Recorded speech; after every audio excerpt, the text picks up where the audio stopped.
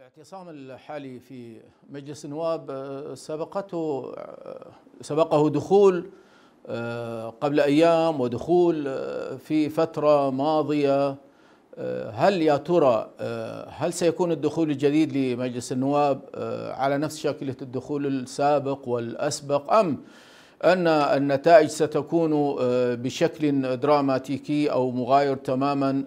التوقعات تقول أن أنه لا بد هناك من تغيير لأن الأمور وصلت إلى مستوى أو إلى سقف لا يمكن الرجوع إلى نقطة البداية أو نقطة الصفر أو ما نسمع من تصريحات أنه يدعون إلى جلسة مشتركة لحلحله الأمور، طيب هذه التسعة أشهر أنتم ما حلحلتوا الأمور؟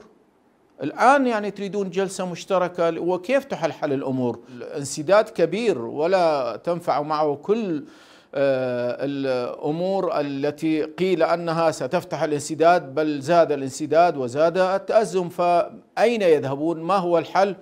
الحل هو انتخابات جديدة لكن يا ترى يا ترى الانتخابات الجديدة لو جرت هل ستجري على نفس الشاكلة التي مضت بنفس قانون الانتخابات بنفس مفوضيه الانتخابات بنفس السياقات الماضية يا ترى أيضا لو لو أن الطرف سين أو صاد حاز على الأغلبية هل ستعترف به أو سيعترف به الطرف الآخر؟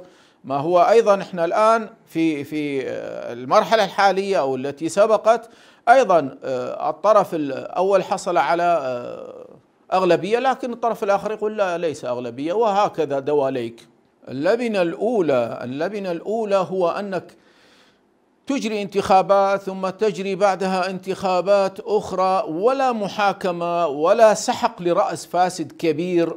كيف سيقتنع المواطن أن هناك تغييرا أو هناك تحولا؟ إذا كان الكل أو أرباب الفساد يسرحون ويمرحون لا بل المضحك المبكي والسخريه الكبرى أنهم يعني بكل وقاحة يضحكون على الجماهير ورؤوس الفساد تتكلم عن الفساد ومحاربة الفساد.